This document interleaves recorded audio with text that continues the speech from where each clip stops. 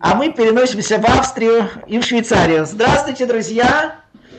Э, я с удовольствием представляю наших э, коллег из э, с Австрии, Швейцарии. Алла, правильно так сказать? Совершенно верно. Мы работаем на две страны. Добрый день.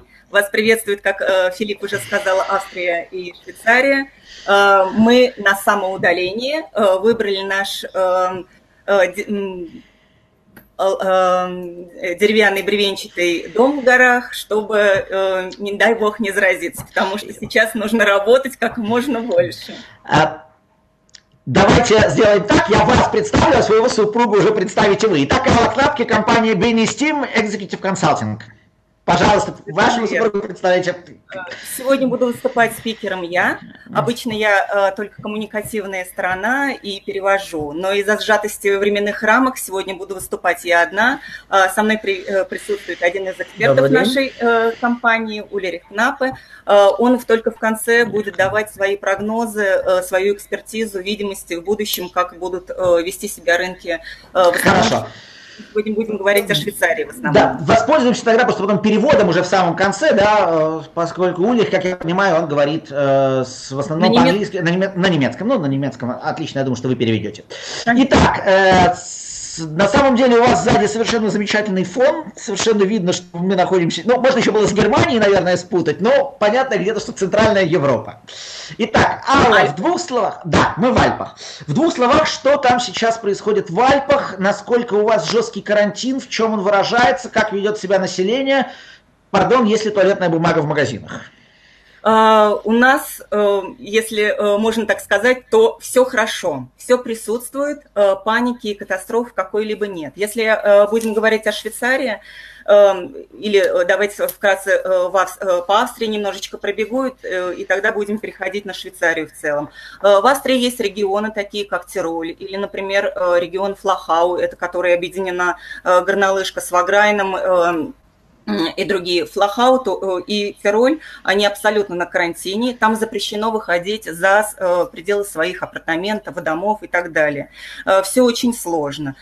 Другие федеральные земли свободны, например, Верхняя Австрия, Штирия, пока можно перемещаться на автомобилях, работает транспортная инфраструктура.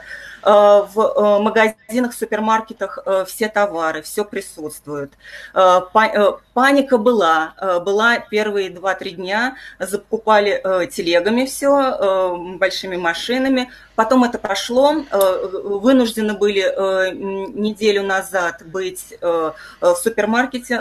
Товар, лавки товар, от товаров ломятся. И есть не только все самое необходимое, но и фрукты от Виктории, только что уже свежие свежий, э, до, естественно, апельсинов и так далее. Все есть. Туалетная бумага, да. Мы наслышаны о Германии, что там бедствие какое-то. Ну, говорят, что да, что-то как-то народ, по-моему, не рассчитал свои воз, возможности и потребности, да. Э, мы вчера просто, это официальное заявление было, действительно, э, в Германии проблема с туалетной бумагой, и проблема уже и с коммунальным потому что э, все это м, переработка не может... Не справляется, ну понятно. Газеты переваривать, извините. Газеты, газеты переваривать, понятно. Забавная, забавная история. Но, кстати, да. хочу сказать, что через некоторое время, точнее в понедельник, э, сразу проанонсирую, сейчас пока раз мы о Германии речь зашла, у нас будет вебинар о Германии и об инвестициях тоже, но э, через некоторое время, думаю, мои коллеги, может быть, ссылку на этот вебинар скинут. Но сейчас не об этом. Ал, э, давайте я еще... Продол... Я продолжу все-таки да, да, да. Хорошо? Да, да, а, вот я как раз хотел спросить. На ваш вопрос, потому что переключилась чуть-чуть на Австрию.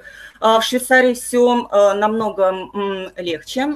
Транспортная инфраструктура вся работает, и поезда, и, и автобусы, но, естественно, в несколько сокращенном режиме. Также можно передвигаться внутри Швейцарии без, безлимитированно на, на своем транспорте или на такси все работает. Супермаркеты, естественно, абсолютно э, полны, как всегда, э, перебои нет. Тоже были небольшие вспышки э, ажиотажа, теперь абсолютно отсутствует. Есть свои ограничения, ограничения входа в Кооп и Мигрос. Это наши распространенные супермаркеты. Что это значит? Это один человек на 100 квадратных метров. То есть дистанция должна быть. И Швейцария есть Швейцария, при входе стоит, то есть, например, на один Coop или Migros это 1000 квадратных метров, то есть есть эм, должно быть не более 100 человек посетителей. А и кто-то контролирует это, простите? Абсолютно. Электро... Э, Швейцария. Э, электронное табло стоит, э, смотрят, сколько сейчас присутствует. Естественно, э, стоят security на входе. Сам народ знает, что сейчас, допустим, 100, 100 человек, ага, выходит двое-трое, подходит э, 2-3. Но это не во всех, не во, это мы конкретно mm-hmm. говорим про Тичино. Про, про... Всех, не, не во всех супермаркетах такое есть, потому что в основном все закупились. А, а вот, простите, есть ли какие-то ограничения, ну вот э, на русском языке некоторые новости звучат жутковато, там ограничения собраний, то есть в гости не надо ходить, или, или запрещено. Вот это запрещено или просто не ходят, потому что ну, берегут себя? Э, давайте так будем говорить. Это строгая рекомендация. Строгой рекомендации запретов нет. Что запрещено? Быть в общественных местах э, в скоплении людей больше пяти человек. Это запрещено. Но э, швейцарцы очень самоорганизованная нация, очень эм, э, чтущие свои законы, понятия и бережливые нации и себя, и окружающего мира, и своего соседа, и поэтому сами понимают, как себя вести, и поэтому 99% самоизолировались. Э, это не значит, что нельзя выходить на улицу. Можно, можно выходить гулять с собакой, можно э, заниматься, продолжать спортом, но либо э, одному, либо э, вдвоем, троем, то есть э, со своими членами семьи, э, не более. Если э, э, встречается человек э, и знакомый, естественно, то не больше трех метров можно переговорить. Э, сейчас у нас э, такой юмор ходит в Швейцарии швейцарцы очень гостеприимные люди и очень радушные. И поэтому, э, особенно в Тичино, потому что эм, настолько микс э, плотный с Италией, что итальянский язык официальный, что иногда ты путаешься, где ты э, в Италии или в Швейцарии. Поэтому, например, звонок – в дверь открываешь, никого нет, но стоит на пороге бутылка вина, и там карточка э, от такой-то семьи, то есть э, твои соседи и желают э, с крепким рукопожатием в этой бутылке, но мы не обидимся, если вы стерилизуете наше рукопожатие, ну, потому что мы возьмем... Ну, понятно, да. А, Ой, слушайте, хочу, хочу в Швейцарию, сейчас закончу вебинар, вот, а там на выходе у меня наверняка у двери никто никакой бутылочки не поставит. Это ж такие... До 19, э, до 19 э, апреля точно не сможете э, к нам въехать. Да, визы, визы будут, пока не будут выдаваться до 16, новые визы до 16 июня. Это официально на сегодняшний день. Что вообще происходит с рынком недвижимости, если мы говорим не о ценах, а говорим о а, ну, вот, э, работе всех официальных структур, как, на которые завязана сделка. Кому можно обратиться, кому нельзя, кого можно найти, кого нельзя? А, если э, мы будем говорить, э, чуть-чуть продлим тему, то все общественные мероприятия, естественно, отменены. Э, э, в Швейцарии, э, что особенно трагично для, для швейцарцев, это чемпионат мира по хоккею, потому да, что да, в Швейцарии да. хоккей это так же, как футбол для Италии или Бразилии. Поэтому это... это Айс-хоккей. Это, а, эм, айс-хоккей. Это... Ну, хоккей на льду, понятно, да, не, не бенди, да-да-да, все понятно. Окей. И другие, естественно, мероприятия тоже все отменены.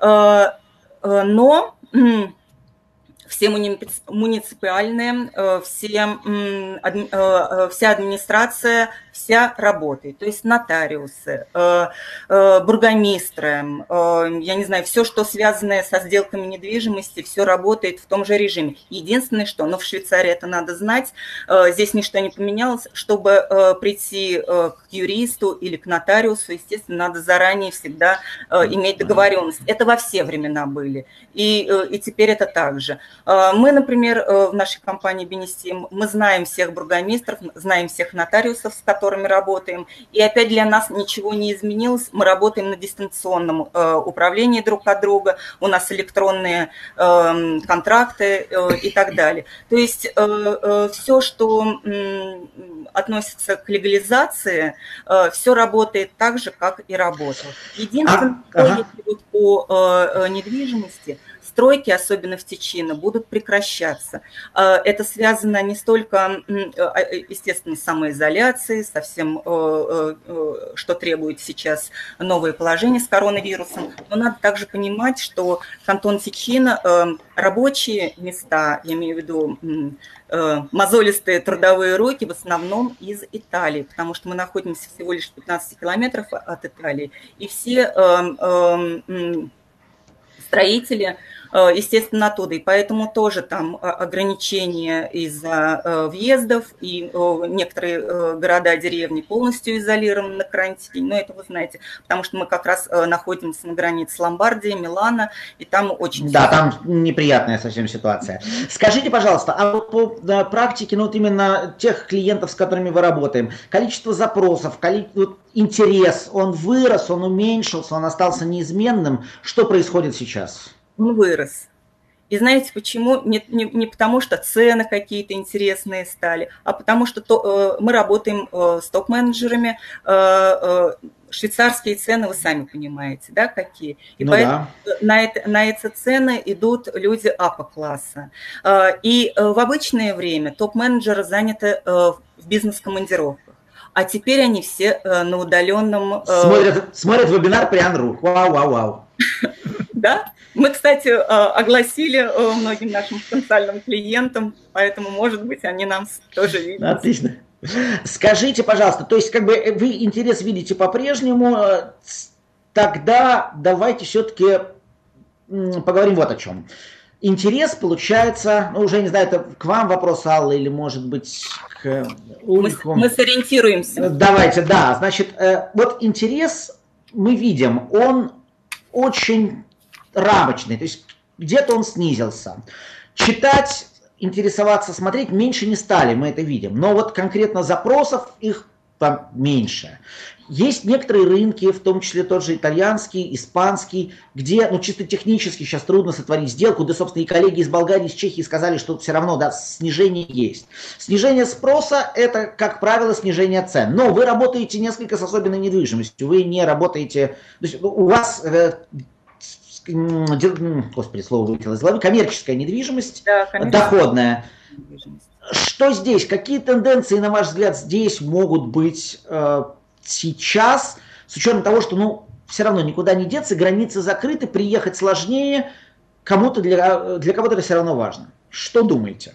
Как вы себе видите ситуацию?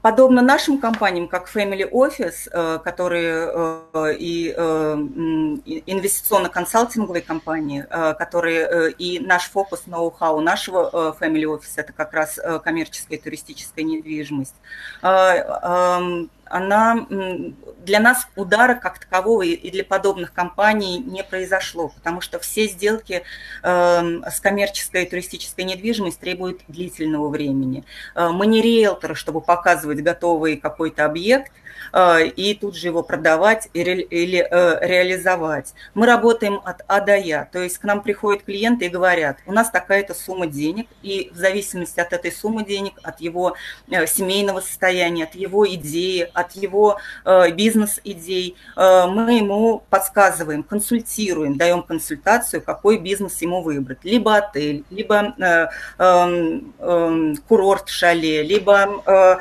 шопинг-молл, либо все, что относится okay. к, к туристической коммерческой недвижимости. И здесь сделки так же, как и бизнес, долгосрочный и требует э, достаточно длительного времени, от одного месяца до трех месяцев. Поэтому я и говорю, что ни запросы, ни количество сделок не уменьшилось. Тогда дайте совет. Вот э, вы э, упомянули туристическую недвижимость. А, последние события в мире показывают, что инвестиции в туристическую недвижимость ну, несут помимо погодных рисков, которые понятны, да, там, там холодное лето или в вашем случае теплая зима, и шале, на который вы рассчитывали, или отель уже не столь прибыльный, да. Ну, понятно, здесь есть много если, но тем не менее. Вот как вы сейчас видите инвестиционную перспективу, инвестиционные движения, на которые надо сейчас обращать внимание? Очень хороший вопрос и очень своевременный э, вопрос. Э, туристическая недвижимость делится на два класса. Это э, э, среднего класса 2-3 звезды и премиум класса. Премиум класса никогда не в убытке. Смотрите, даже сейчас в Швейцарии отели, отелям не запрещено работать. И даже ресторанам при, отеле, при отелях не запрещено работать. Но какие сейчас отели открыты? Не трехзвездочные да, да, все работает, все нормально, все идеально. Не, ага. Э, не трехзвездочные, э, где э, отсутствие туристов, или же в Швейцарии очень много отелей, таких как Имбис, Ибис, они работают благодаря рабочим, которые заселяются, ну, потому что цены не очень дорогие, они тоже пустые а премиум класса 4-5 э, звезды работают э, в своем обычном режиме. Если говорить про шале резот, то это вообще, э, мы же, я говорю, не риэлторы, а мы и управляем своей недвижимостью, сдаем ее в аренду. Все наши шале в Швейцарии сданы есть и русскоязычная публика, которая не выехала и не захотела выезжать, потому что, э, опять же, э, э, есть большой, большая, большой шанс заразиться. Поэтому для чего? Они продлили свои, свой мартовский отпуск до конца апреля, потому что они живут либо своими друзьями группой, которая живет в шале, либо своей семьей, индивидуальные повара – пожалуйста, приходит им готовить, но больше э, сейчас э, такое время, что в большей э, степени готовят сами. Сами, да? Да, ну, здесь никакой проблемы нет. Фондю, сырный, ноя. Означает ли сказанное вами, что, ну вот, там, вернувшись на там 3-4 года назад, более интересными и безопасными оказываются инвестиции, если мы говорим отельную инфраструктуру, в отели дорогие. В швейцарском, важно подчеркнуть, это швейцарский опыт, а не, не общемировой. А это даже и общемировой. Uli, we are now speaking about tendencies in uh, commercial touristic uh, yes. realism. And Philip uh, said uh, uh, his opinion, not only his opinion, but uh, from all uh, in Adam. I translate your question. Yeah, okay, I understand you. Mm-hmm. You, you can translate. Uh, Please. With coronavirus, how will be vector to what? Because uh, now what we have in Italy, in Spain, all uh, touristic... Можете говорить на немецком. All, hotels, okay. all hotels go down. What yeah. I said already that we have uh, premium class yeah. of hotels. Okay. Uh, there will be two developments. Of course, the short-term development is that tourist business, both in the luxury class and in the budget class, will be severely hit. This will last as long as the current restrictions are. That means if people cannot travel, of course, they cannot go for holiday. The other question is, what will be the long term? Uh, let's, uh, just end. Uh, let's, let's try, yes. Дайте я паузу, чтобы... Сейчас э, две тенденции. Э, во-первых, э, в любом случае будет спад и у премиум-класса отелей, или просто мы будем говорить туризма, и у двух-трех, там ну, трехзвездного туризма. Потому что в любом случае границы закрыты, туристов нет. Если говорить о долгосрочной уже перспективе, то вот... So as tourist business, tourist investment is one of our core business, we were intensely thinking about this since beginning of the crisis. And so far we came to two conclusions, but this is of course very hypothetical. Мы пришли к двум гипопати... гипотетическим... гипотетическим. One thing which you can see from all long term, after the crisis, people will travel again. This happened after the Second World War. This happened after the financial crisis, 2008. this happened after this, this happened after that. Первое позитивное для всех, э, как все закончится, люди опять будут путешествовать и э, путешествовать в своем режиме, потому что это было и после Первой мировой войны, и после Второй мировой войны, и после финансового последнего кризиса 2008 года. И второе. And the second point is, people now, after this crisis, will be demanding um, holiday which is connected to health. That means they will go to sanatorium, they will go to Kurhotel. Yeah, And please remember, one of the most famous holiday places in the world, Davos, originally developed in the 19th centuries as a sanatorium place for tuberculosis patients. So those countries who can offer clean air and uh, healthy springs and so on, both this is available in Switzerland and Austria, and have a reputation for good medical standards, those will profit from the trend to health tourism.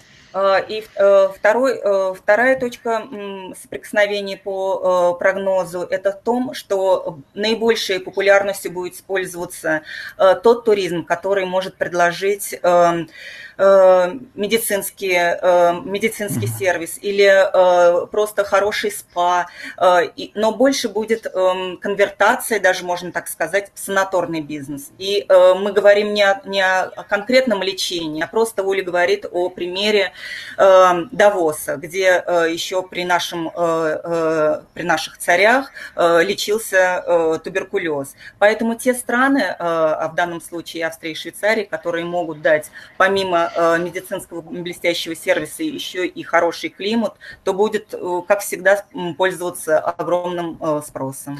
And the second trend, which will be, is that people look for accommodation with a great degree of privacy. That means they don't want to stay in a large hotel with 1,000 rooms. They want to stay in chalets in holiday houses or if they go to apartment these apartments must be large scale. They must have their own terrace. They must have their own entrance.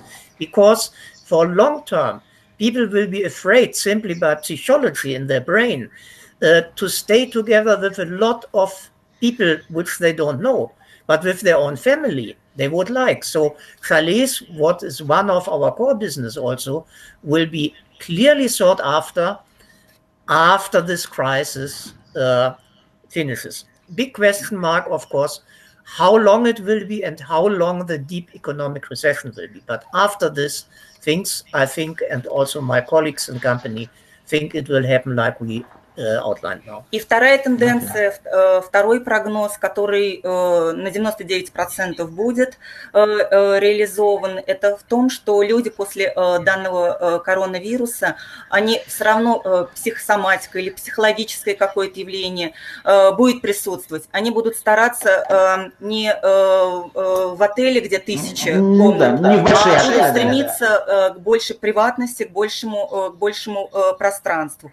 Поэтому будут выживать э, те в основном, которые как раз это и могут обеспечить. А это и шале проекты или отели, э, где не больше э, 55, э, опять же, люксов, да, 55 комнат, где цены от э, 1000 э, евро за, за ночь, но с, с ужином, но это от 60 до 100 квадратных метров на, на пару. Или же есть и сейчас такие отели, э, где организовано как бунгало, то есть у каждого свой э, вход, свой выход. И могут питаться как в ресторане, а могут э, при отеле, а могут питаться, выходить какие-то маленькие, опять же, заведения. А не подскажете? Так, что-то эхо пошло. Мы вас слышим. They, uh, he doesn't hear us. Окей, okay, не-не-не, я слышу, слышу, слышу. А. Слышу вас идеально, просто эхо пошло. Э, значит, э, давайте тогда такой вопрос э, хотел бы вам задать.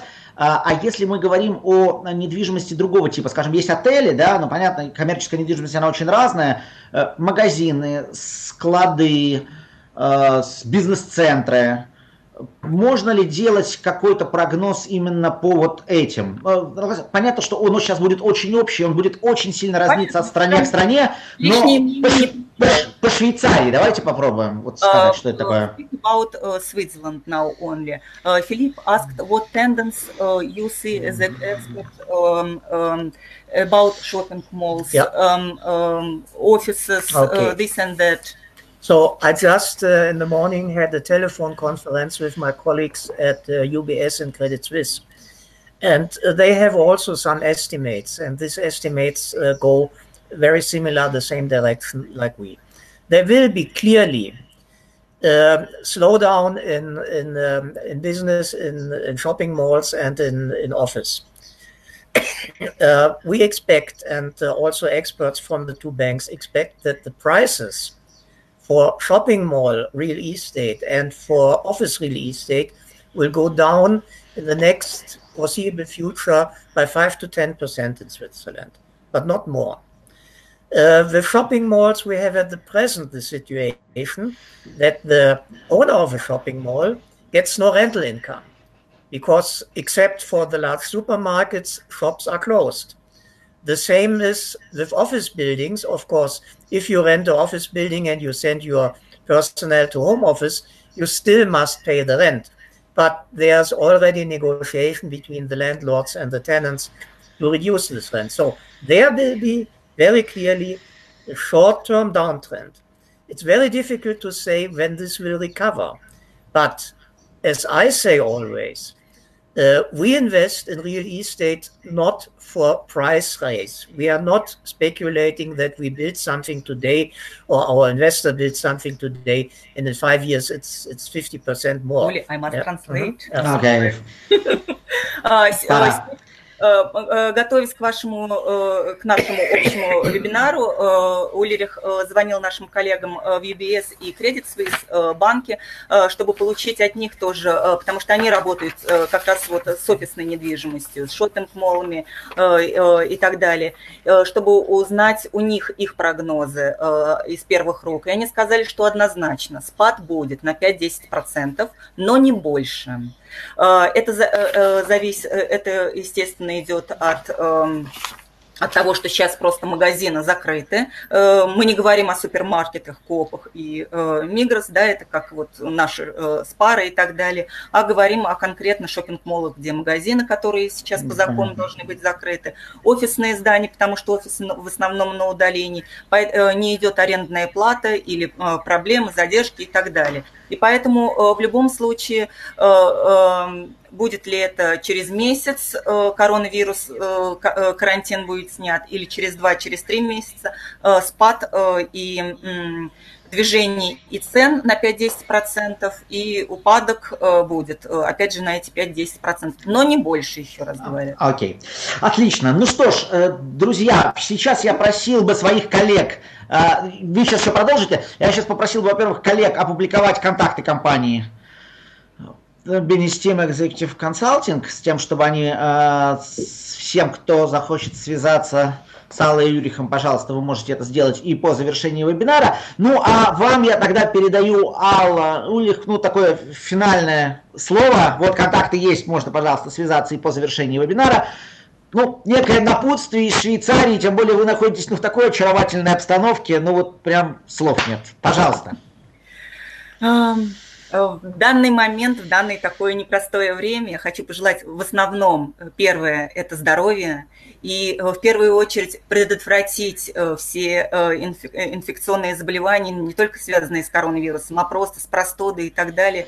Поэтому действительно лучше самоизолироваться и побыть с семьей, побыть внутри своих апартаментов или дома.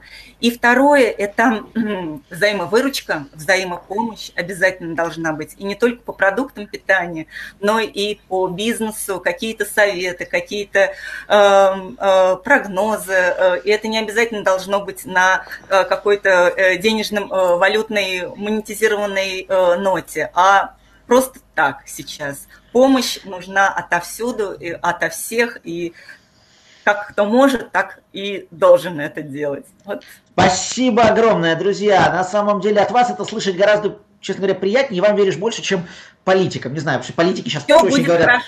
Это обязательно закончится. Надо Это обязательно закончится. Чуть-чуть переждем. Алла, спасибо вам огромное. Ульрих, спасибо огромное. Э, наши эксперты из Австрии и Швейцарии, Алла Кнапки э, и ее коллега. Э, спасибо вам. Встретимся с вами обязательно на страницах Прианру. Вчера, кстати, был опубликован материал наш совместный. И обязательно встретимся еще на ваших вебинарах. До встречи. Желаем удачи. And stay healthy and drink a good vodka. This helps. Это можно без, это можно без перевода, это всем понятно.